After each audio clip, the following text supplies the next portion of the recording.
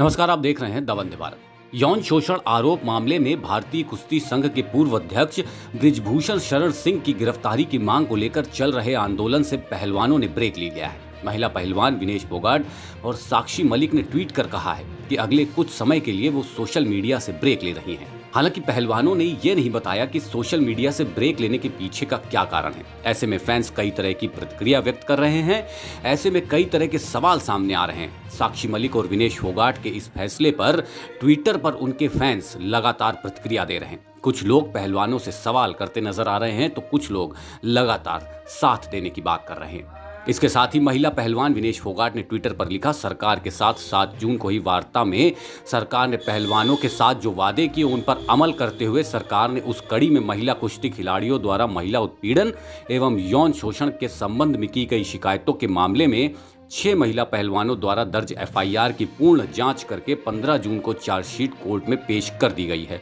इस केस में पहलवानों की लड़ाई सड़क की जगह, कोर्ट में तब तक लड़ी जाएगी जब तक न्याय नहीं मिल जाता। देश दुनिया की तमाम खबरों के लिए देखते रहिए दमन दे भारत। नमस्कार।